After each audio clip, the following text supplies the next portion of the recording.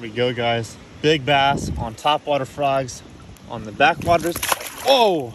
Backwaters of the Mississippi River. And he's gone. Yes, sir.